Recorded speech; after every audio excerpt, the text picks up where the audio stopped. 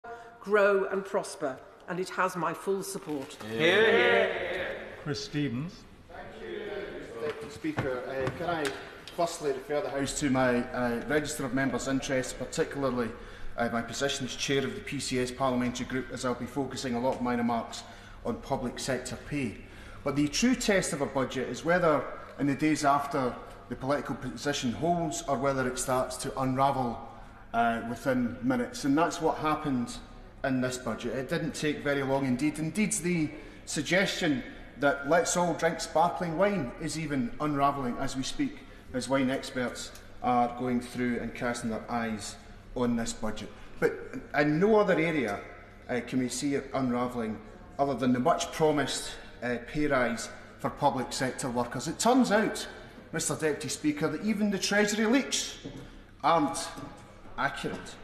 Because if you happen to work for a UK government department, this budget gave little or no comfort for civil servants.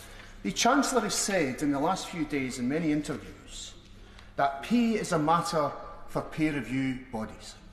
Mr Deputy Speaker, if you just happen to be a civil servant working for a UK government department, you'll discover that their pay is not covered by a peer review body.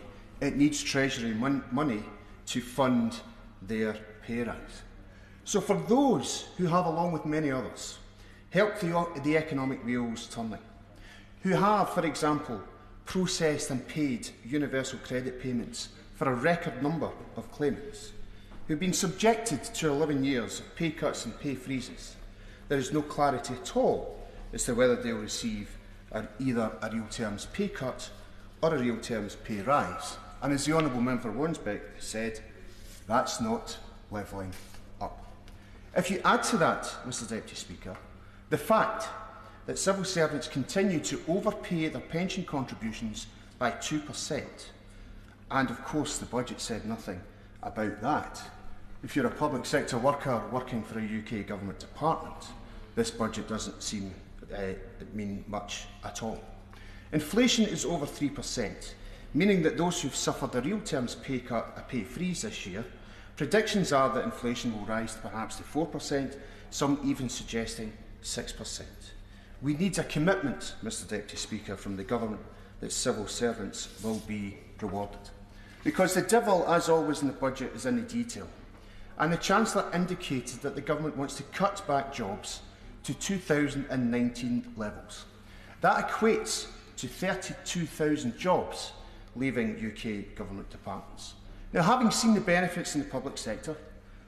public sector employment, and the needs for world-class public services, this budget does little to reward those at all who have kept UK government departments going and supported so many people.